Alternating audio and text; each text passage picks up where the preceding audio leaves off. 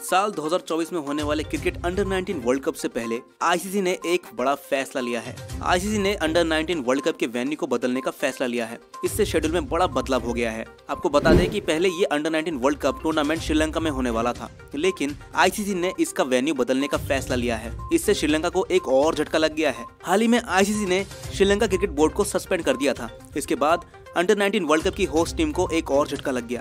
ICC ने अगले साल होने वाले क्रिकेट वर्ल्ड कप का वेन्यू बदलकर साउथ अफ्रीका कर दिया है। पहले वर्ल्ड कप श्रीलंका में होने वाला था, लेकिन अब ये वर्ल्ड कप साउथ अफ्रीका में होगा। बता दें कि अगले साल under 19 T twenty world cup के अलावा अंडर 19 वर्ल्ड कप भी होना है। आईसीसी क्रिकेट बोर्ड ने वेन्यू बदलने का फैसला श्रीलंका में एडमिनिस्ट्रेटिव अनसर्टेनिटी को देखते हुए किया है। आईसीसी ने श्रीलंकाई क्रिकेट बोर्ड को सस्पेंडेड करने के रिसेंट फैसले को बरकरार रखा है, लेकिन श्रीलंकाई अंडर 19 टीम को कंपटीशन में भाग लेने की अनुमति दी जाएगी। अंडर 19 वर्ल्ड कप 14 जनवरी से 15 फरवरी के बीच होने वाला है, जिसके लिए वेन्यू का बदलाव किया गया। ये श्रीलंका के लिए एक बुरी खबर है। अगर ये टूर्नामेंट श्रीलंका में होता तो श्रीलंकाई खिलाड़ी को अपने पिच पर खेलने का फ़ायदा मिलता। लेकिन वेन्यू बदलने से उन्हें बड़ा झटका लग गया है। ऐसे क्रिकेट न्यूज़ से अपडेट रहने के लिए बाबा क्रिकेट न्यूज़ को अभी सब्सक्राइब करें।